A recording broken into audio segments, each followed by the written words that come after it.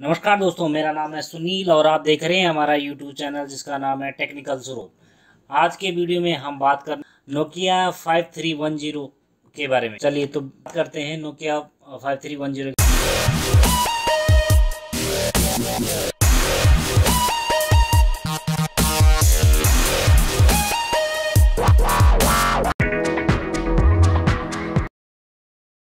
बात पहले बात करते हैं हम डिस्प्ले की। डिस्प्ले इसमें 2.4 इंच आ, का है और डिस्प्ले का टाइप है वो TFT है। वहीं screen to body ratio calculate इसमें 27.52 परसेंट है। स्क्रीन रेजोल्यूशन इसमें 240 ज़ीरो इंटू थ्री पिक्सल है। और पिक्सल डेंसिटी की बात करें 167 पीपीआई है। आगे बात करते हैं स्टोरेज की। इंटरनल मेमोरी इसमें 16 एम है और एक्सपेंडेबल इसमें अप टू 32 जीबी है। नेक्स्ट बात करते हैं कैमरा की।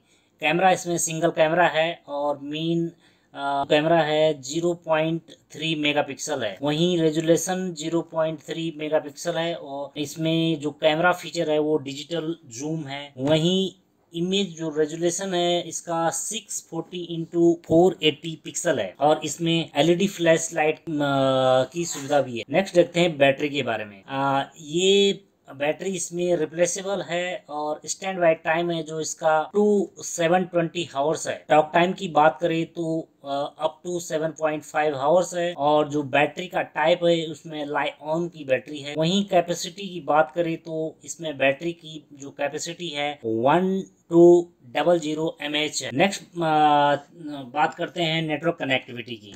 नेटवर्क सपोर्ट इसमें टू ही करता है और ब्लूटूथ इसमें थ्री पॉइंट ज़ीरो है। और SIM one two G band जे सम one eight double zero nine eight nine hundred megahertz और जी पी आर एस भी इसमें अवेलेबल है। वहीं यू एस यूएसबी कनेक्टिविटी में इसमें micro U S USB two point zero support करता है। अब बात करते हैं डिज़ाइन की।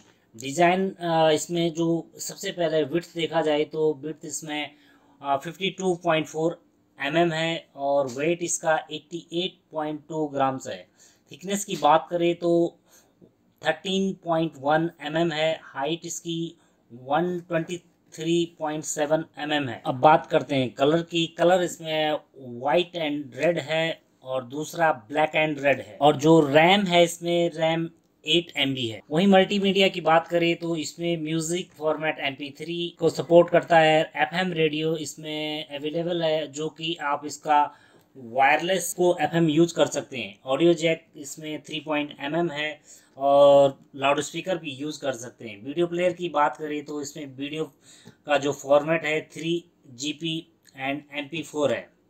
वहीं अगर आगे देखा जाए कि इसमें रिंगटोन म्यूज़िक रिंगटोन को भी आप चेंज कर सकते हैं। पोली मैनिक रिंगटोन वाइब्रेशन भी इसमें है। बाकी जो बेसिक फ़ोन में जो सारी चीज़ें होती हैं वो इस फ़ोन में अवेलेबल है। जैसे कि जो लोग पहले गेम्स छोटे गेम्स खेलते थे, वो है और वहीं फ़ोन बुक जो लिमिटेड है, पर लेकिन है, इसमें अवेलेबल और अदर फैसिलिटी जैसे कैलकुलेटर स्टॉप वॉच कैलेंडर और अलार्म भी इसमें है।